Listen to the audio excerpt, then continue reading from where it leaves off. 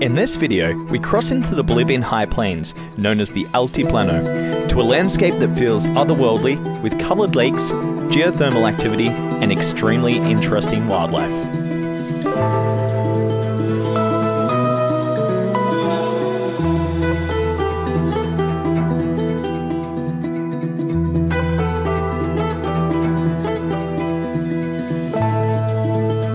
Out into this surreal landscape in a four wheel drive Jeep, ready to tackle the bumpy terrain of this remote area and get a glimpse of rural Bolivian life and agricultural farming practices.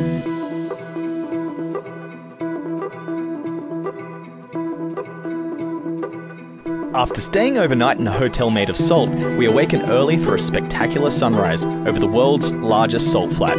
Here we explore this massive white expanse and have some fun playing around with perspective shots.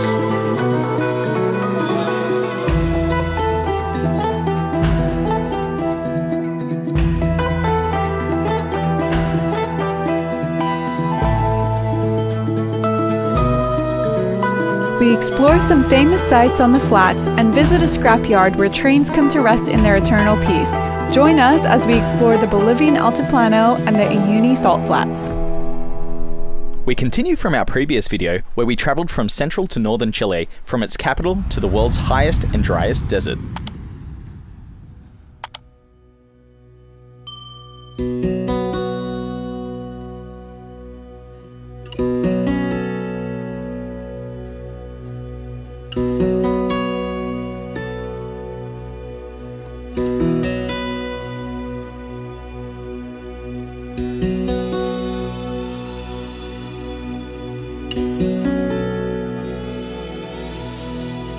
So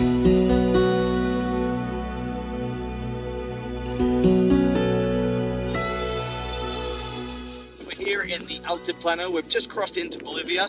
Had a few complications crossing over the border. One, Miranda had some issues with her American dollars for her visa. Apparently, they need to be very neat.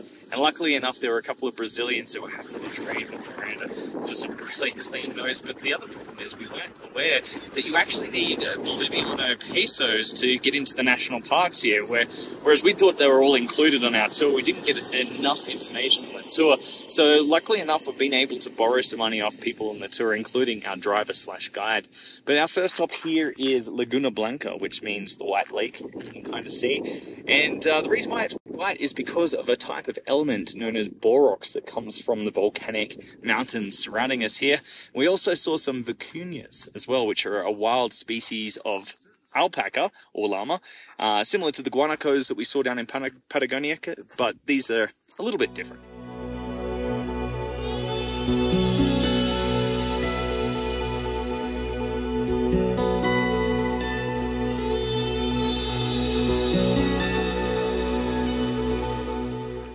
Right, so we're hiding behind the car out of the wind right now because my GoPro is out of battery. But where are we, Miranda? We are at Laguna Verde. And what? Yeah, Absolutely stunning.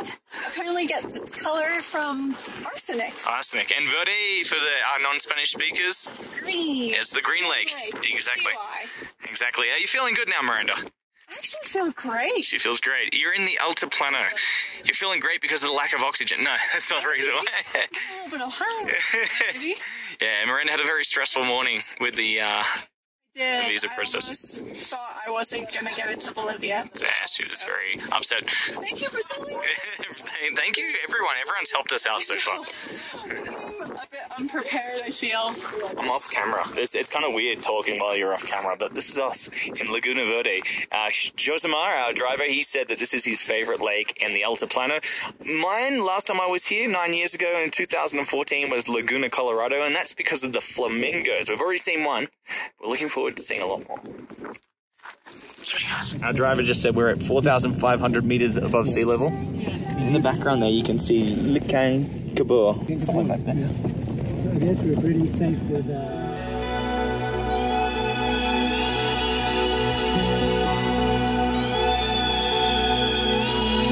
Before not too long, we come across a desert landscape said to resemble the work of a famous Spanish surrealist artist. So this is the famous Salvador Dali desert. Um, I'm pretty sure that the surrealist painter uh, created some works of art here or based on this desert landscape. Oh, also, there's some these dust devils around here too, so they're kind of like tornadoes. You see them uh, with the wind sort of kicking up the dust and spinning around.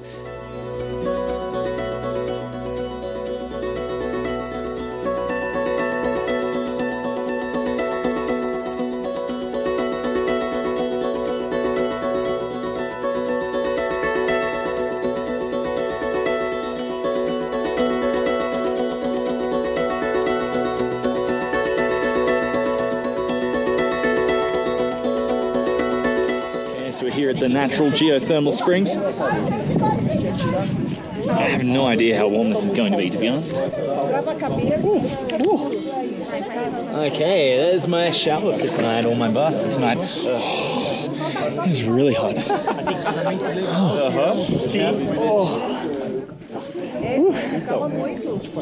Oh. oh, here's the jiggy. What do you think? it's really warm. It's really hot. oh my goodness. Oh, that's so warm. Go on. You gonna dunk your head? Yes. No. I think I want to. I think I want to do a dunk.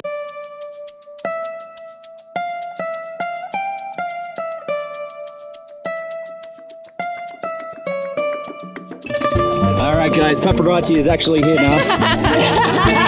so we have Tina, Saskia, and Tristan. This is our this is our team for the Altiplano and Salar de Uyuni. Oh, Uturunku. Ah, yeah. Ah, yeah, yeah. the highest volcano in the, in the region. Oh, is it really? Yeah. Tristan is your new guide now. He'll be taking over. Okay, I'm taking Bolivianos. well, we don't have any, so that's a bit of a problem.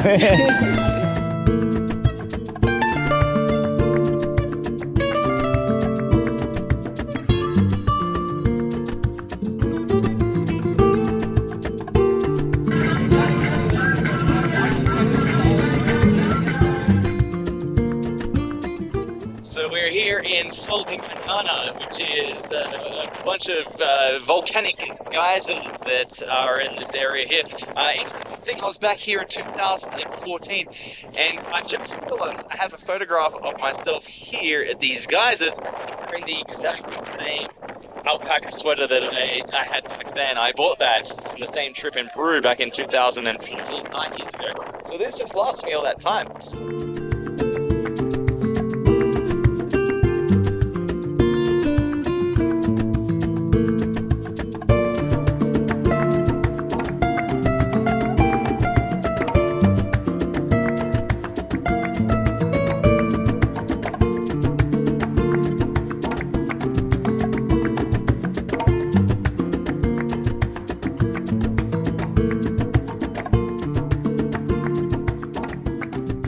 We arrive at the Laguna Colorada, my favorite lake from my previous trip in 2014.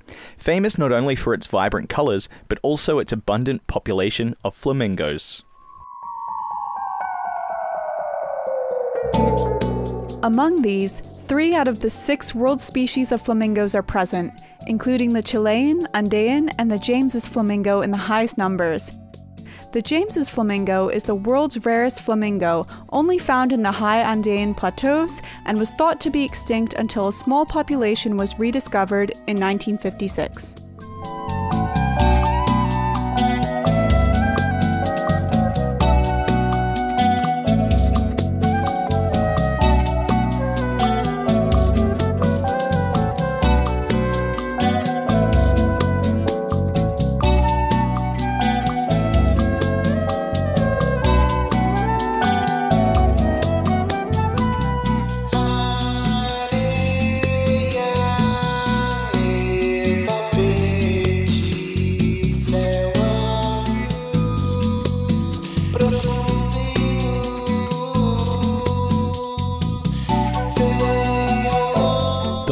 Gets its red color from the abundance of plankton in its waters.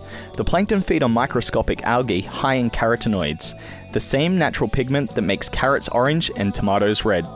This abundance of plankton draws in the flamingos in high numbers and in turn also gives them their pink color.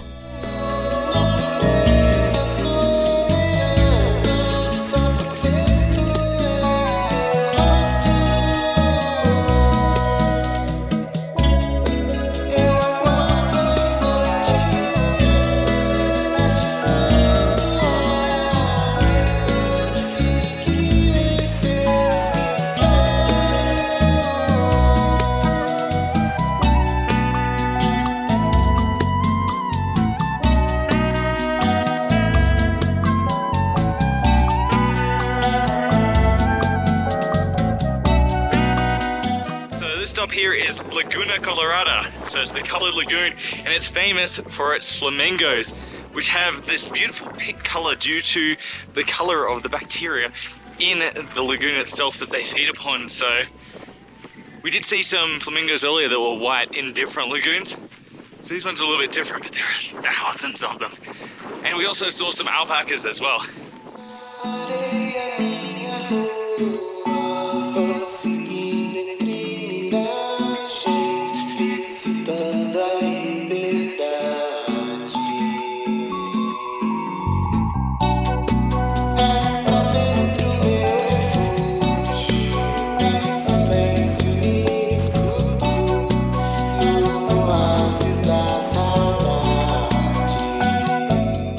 Local domesticated alpacas can be seen decorated with color ribbons attached to their ears so that their owner can identify who the herd belongs to. We retire to a nearby village overnight where dinner is prepared for us, the traditional Bolivian dish of salchipapa, consisting of fries, beef, sausage, egg, and salad. Delicious way to end the day.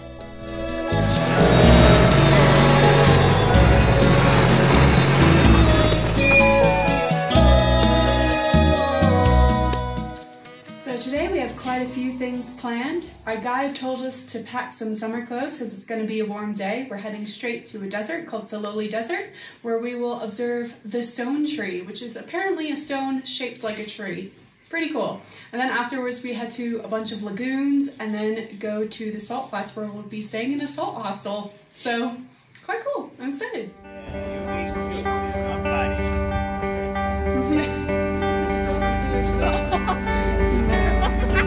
Uh,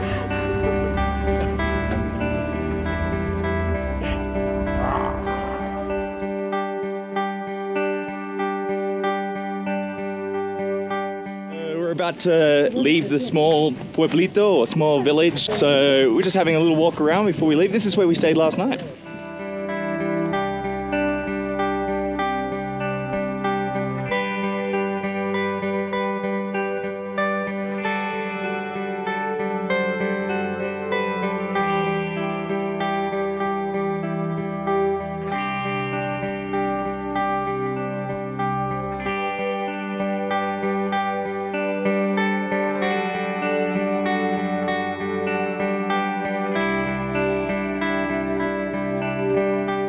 So behind me here we have La Copa del Mundo, the World Cup from the soccer.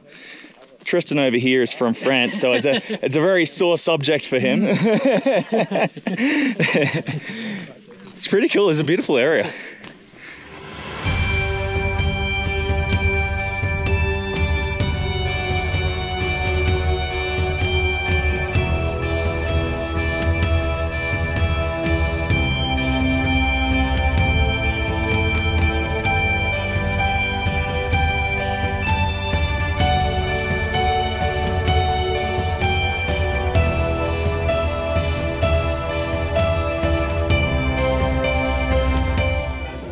So behind me here we have the Camel Rock. So it looks like a camel. I've just uh, had an accident with my drone. It didn't slow down when I went to catch it, and it sliced my finger. Luckily, we had some uh, people on hand, which uh, one of which was a nurse or a doctor, I should say. She uh, was able to fix me right up and uh, good to go.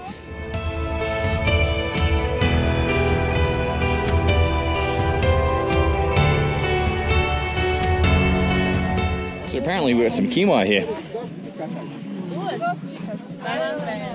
Oh yeah, that's pretty cool. Oh, yeah. And, and you can see that they've been cultivating it too. You've got the lines there. And...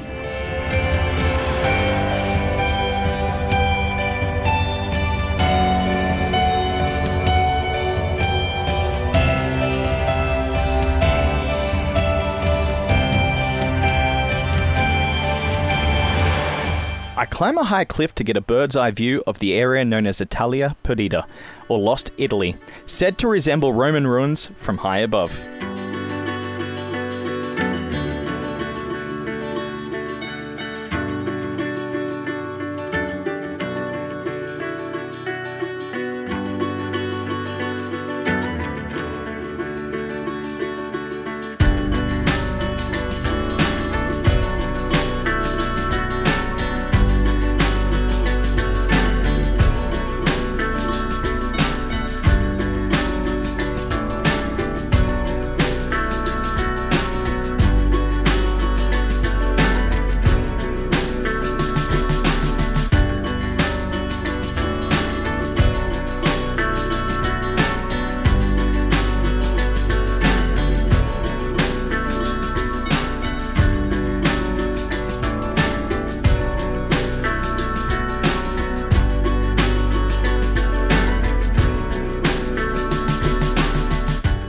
Lunch, we visit a place full of domesticated llamas, or llamas.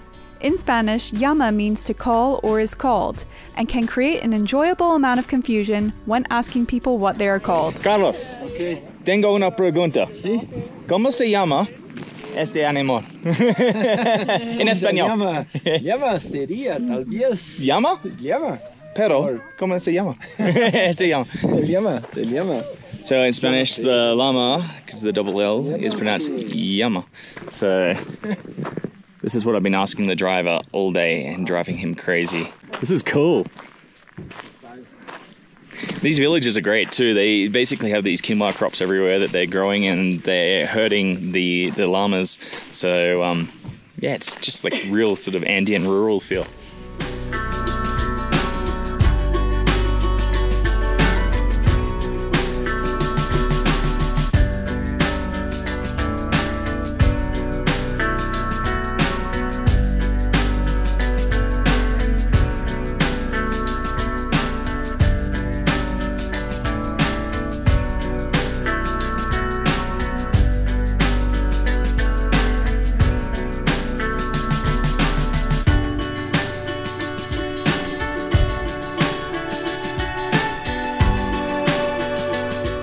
Llamas and alpacas are domesticated in large numbers in the area, as they are adapted and suited to the harsh conditions of the high Andes. Not too distant relatives of the camels in North Africa and Asia, local farmers and communities depend on these animals for their wool production and meat.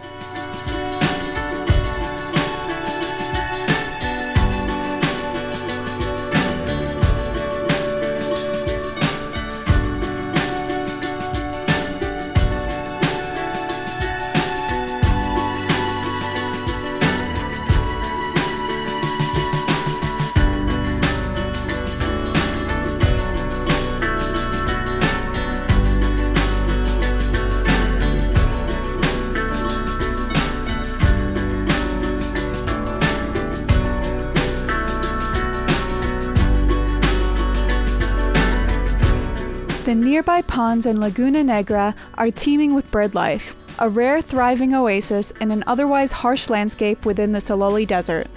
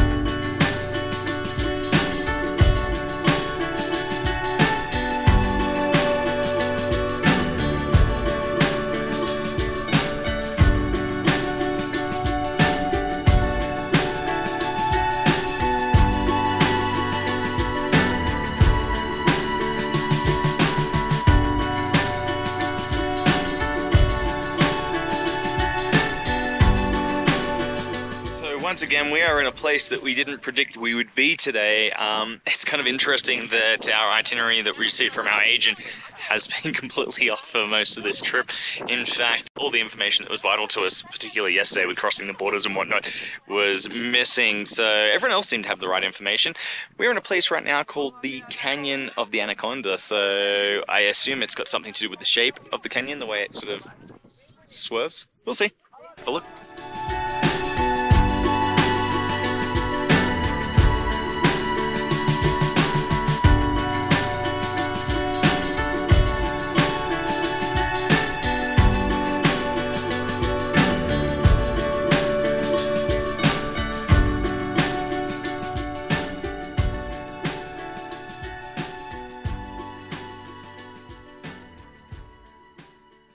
So, since we've been going past these fields of quinoa all day, I thought I'd try a quinoa cerveza, quinoa beer. It's kind of sweet and tangy. It's almost like a, a wheat beer, but different. Quinoa.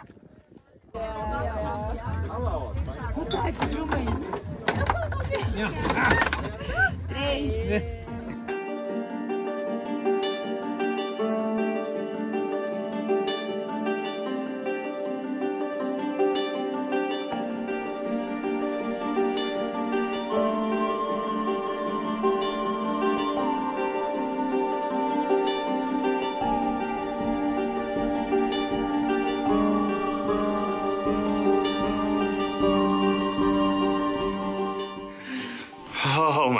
Look at this, Miranda. What do you think? so basically, they overbooked the other hotel. They said, We need to put you in a different hotel. And we're like, Oh, okay. And then we got, got dropped off here, and this is amazing. I think this is, yeah, this is salt as well. All these bricks are salt and uh, has a beautiful thatched roof. Amazing.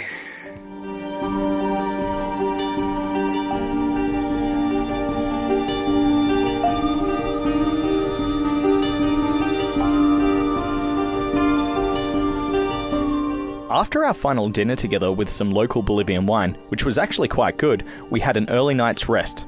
The following morning, we awoke in the darkness well before sunrise and drove out to a nearby island in the salt flat. From there, we hiked up to a high vantage point where we could witness the sun rising over the world's largest salt flat.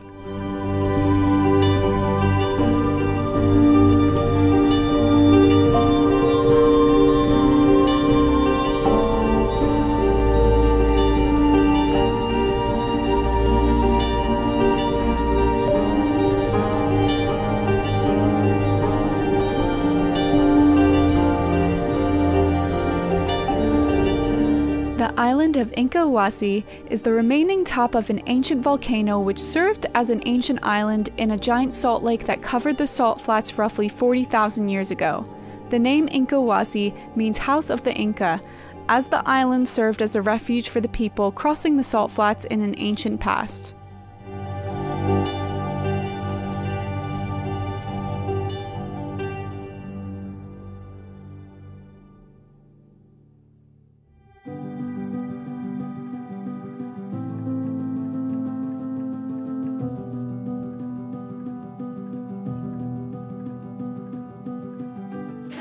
So we're exploring now the Arco de Coral here in the Uyuni salt flats.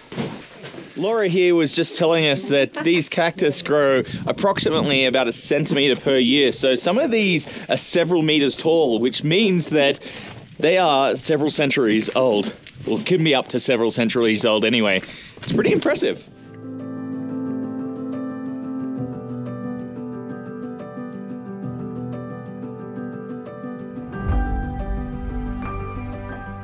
So we are on the Uyuni salt flats. This is the world's largest salt flat, and this used to be an ancient lake bed up until it evaporated uh, thousands of years ago, leaving this salt residue here on the ground. Have some fun today here in the Uyuni salt flats. We had a great sunrise this morning up on that hill, and we'll be staying tonight in the town of Uyuni.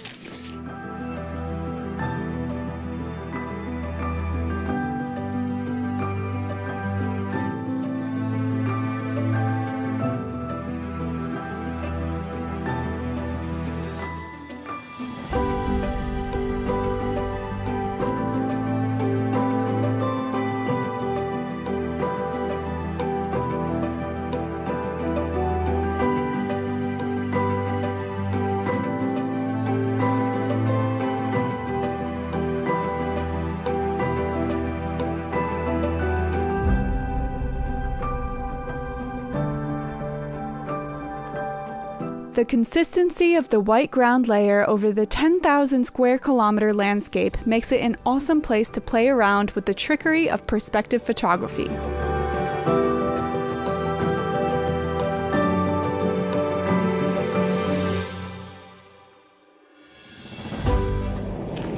So that was really cool doing some of those perspective shots here in the Salt Flat Desert.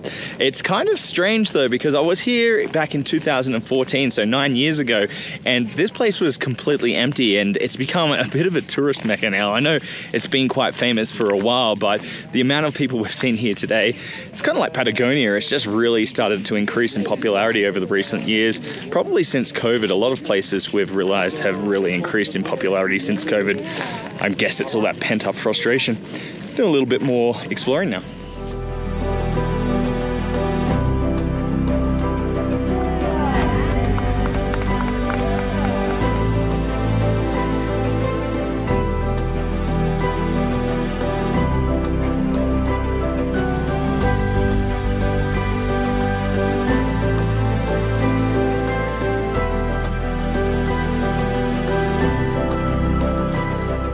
Our guide Josemar seemed to be the expert at setting up the ideal perspective shots, which were loads of fun to produce.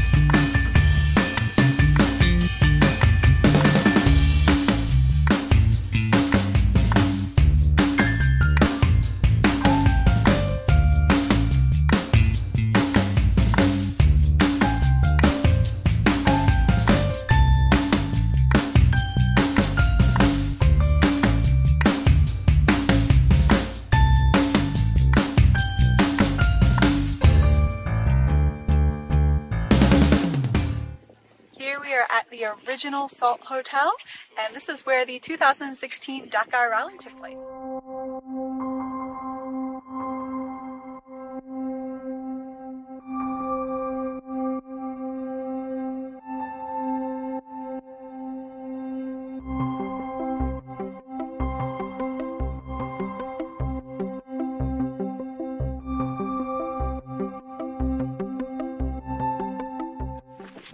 Okay, this is a place I remember vividly from my trip here in 2014, nine years ago. The train cemetery. Few differences though. Obviously, a lot of these places have become more popular, and we had a whole bunch of sculptures made out of scrap metal down there, including Terminator, Predator, and the Transformers. And now they have little tiendas here, gift shops selling things. When I came here last time in 2014, there was literally just the old train wreckage. So times change. Who knows what another nine years will bring.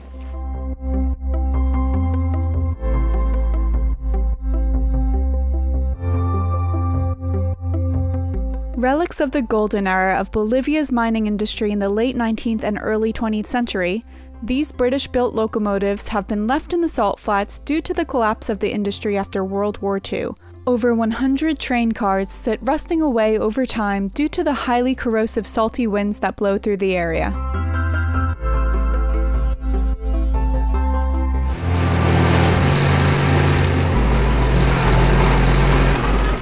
Yes, one thing we noticed here, this is at the Eucalyptus Hostel, which is quite nice. Um, we noticed that the beds are made of salt as well here. Everything's salt. Salt. The the ironic thing is the meals have actually been a little bit undersalted, so That's the ironic thing. But uh, we're going to spend uh, a day here in Uyuni and all a night, and tomorrow we get a, a late bus tomorrow afternoon. We're going to catch up with some friends from our uh, three day trip through the salt flats and the Altiplano for dinner tonight. Let's rest off for a little bit.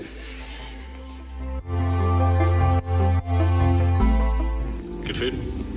What'd you get, Miranda? Soup.